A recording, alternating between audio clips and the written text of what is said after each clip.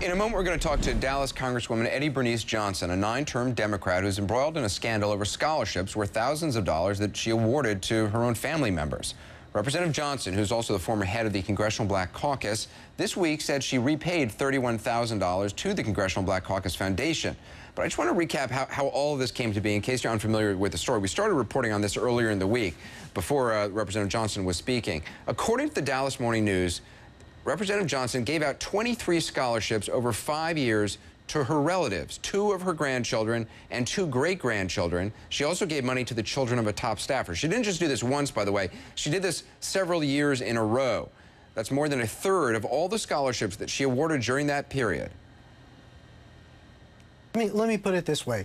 This story has generated more readership than any story I've ever written and posted on our website.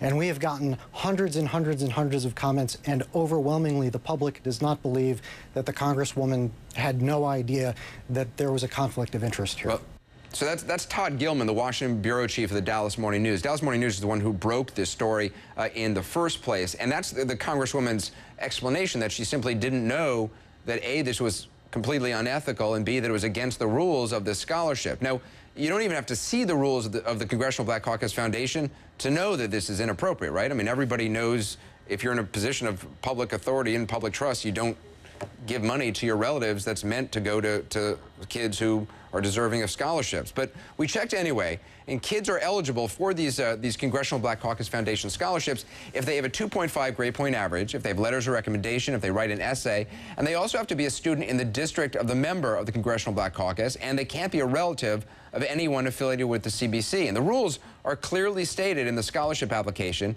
and the kids all signed this uh, scholarship, these scholarship applications, promising they, in fact, were not related to anyone connected to the Congressional Black Caucus or Congressional Black Caucus Foundation. And see, the Congressional Black Caucus Foundation gives out $10,000 to every member of the Congressional Black Caucus uh, to, to give out every year to these scholarships. So the Congresswoman, for years now, gets $10,000 every year to give out. Not only did the Congresswoman violate the Congressional Black Caucus Foundation rule about awarding her own relatives, but according to the Dallas Morning News, none of these kids, her grandson, her grandnephews, the kids of, her, of the staffer, none of them even lived in her district or went to school in her district, so they weren't even eligible on that level. Keeping them honest tonight, we wanted to know how someone, anyone, could be either unaware of or confused by what appear to be clear-cut rules. I spoke with Congresswoman Johnson earlier on the phone. Representative Johnson, thanks for joining us. You've said that you didn't know the rules for this scholarship and, and didn't know that you couldn't give the money to your grandson and other relatives of yours and a member of your staff. How is that possible that, that you didn't know that not only was this against the rules of the scholarship, but, but simply unethical? Well, let me just say this. Uh, I was not aware of the rules. The rules have been very ambiguous. Uh, there were some rules that come out last year, but, you know, I have acknowledged I made a mistake. I've tried to make everything hold. I have paid all the money out of my personal funds, and I'm ready to move on. You say the rules were ambiguous prior to last year and that you didn't know what the rules were. were. We found the 2008 scholarship application, and, and on it, it says, quote, employees and or relatives of CBC members, CBC spouses, the CBC Foundation, the board of directors are ineligible for the scholarship program.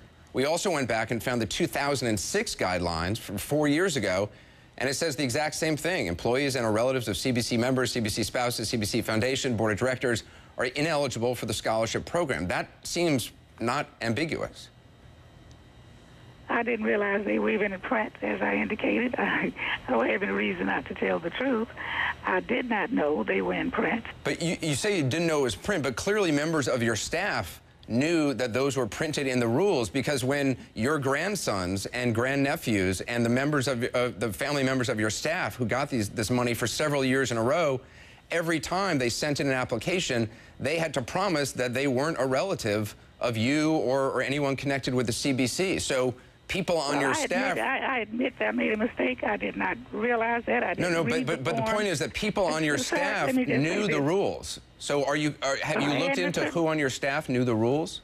Anderson, I've acknowledged that I was negligent. I've acknowledged that I made a mistake. When it was called to my attention, I tried to correct it. I know you want to make a scandal out of this, and I can, but I can't help you.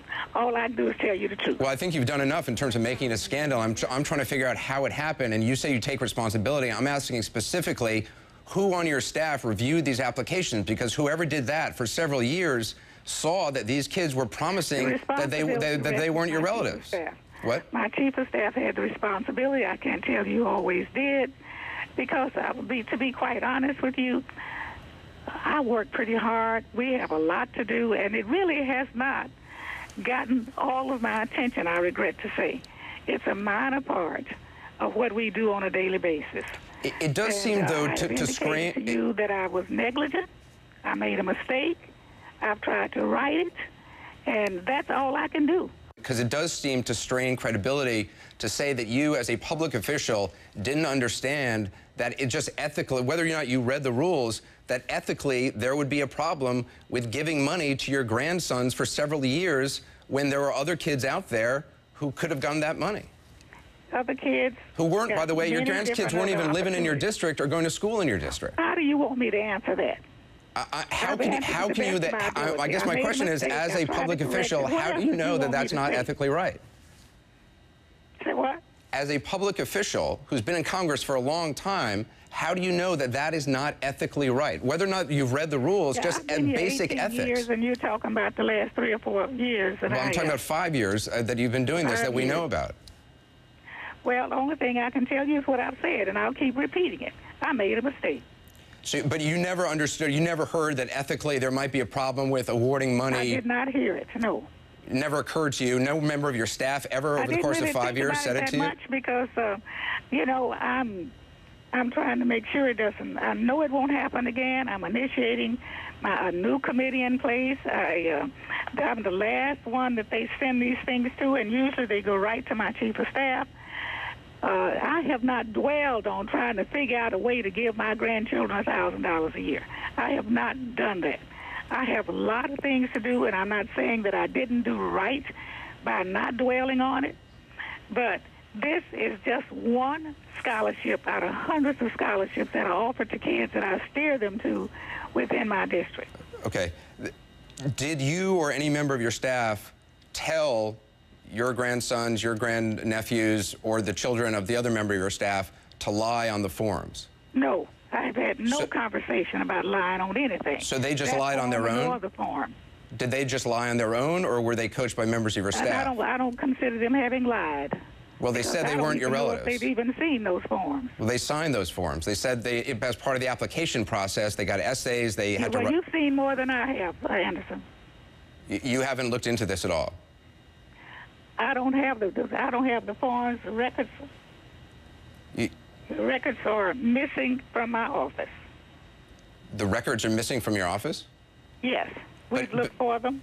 They're not there, and But well, the the Congressional Black Caucus thought about is Foundation has to correct the mistake. Right. The Congressional Black Caucus Foundation has told us, we had them on the other night, they told us that yes, each of the each of your relatives said they were not your relative on the form. They they, they signed off that everything was true in their application. I'm sorry that happened. I don't, I'm not even aware of it, and I know that my grandkids didn't do this intentionally. I don't even know if they've seen the forms because I hadn't seen the forms until this year. Well, they signed the let me forms, so they- you that I have repaid all of the money. I'm not blaming anybody but myself. I'm taking full responsibility, and I'm going to move forward. Well, Representative Johnson, uh, I, I appreciate your time. Thank you very much. Thank you very much. Well, let us know what you think about uh, about that. You can uh, join the live chat at ac360.com right now. Coming up next.